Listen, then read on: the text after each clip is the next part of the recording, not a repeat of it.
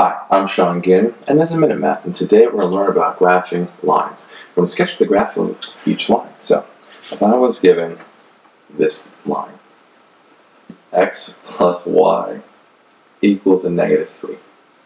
So my goal is to get y by itself. So to do that, I have to subtract an x to both sides. So we have negative x, negative x, right? And y equals that negative x minus 3.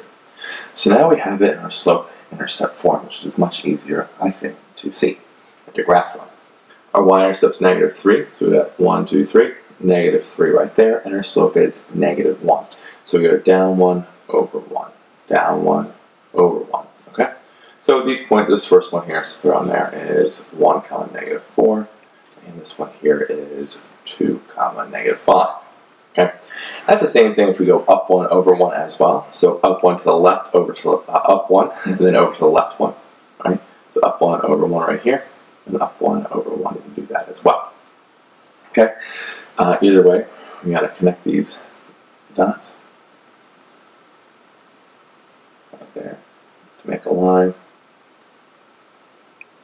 And there we have a graph and our final answer. So to recap, we're given x plus y equals negative 3. Well, I need to get y by itself because slope-intercept form calls for that, and I find that easier. Subtracted x to both sides and got y equals negative x minus 3. Negative 3 was our y-intercept, point right there, and our slope was negative 1. Down 1, over 1 to the right, down 1, over 1 to the right. Now, it's the same thing as up 1 to the left 1, up 1 to the left 1. Uh, so sometimes it's nice to do that to get both sides. Either way, connected the dots, made my uh, line, and now we have our final answer.